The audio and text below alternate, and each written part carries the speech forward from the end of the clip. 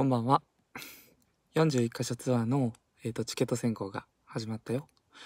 ファンクラブに入ってなくても申し込める最速の選考です。まあ、でもファミリーマート選考っていうやつで、説明しようかな。説明聞ける？俺もまだあんま分かってへんけど。えー、っとね。何やったっけ？えー、っと、一般の人は3500円か4500円で来れます。まあ、初開催のとこは3500円で。それ以外が4500円。で、学割は2500円。すごい、すごくない？やばいやろ。で、えー初開催じゃないとこは3500円で来れます。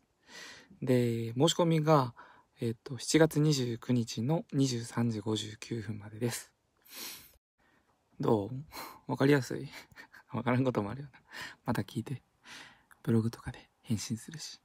で、今回のツアーは、あの、初めましての人がね、少なくとも4000人から5000人来るっていう。俺らもすごい緊張してんねんけど。だから、初めてやけど緊張するとか、一人で行けますけど、みたいな人のために、なんか考えようかなと思ってるので、楽しみにしててな。おやすみ。ありがとう。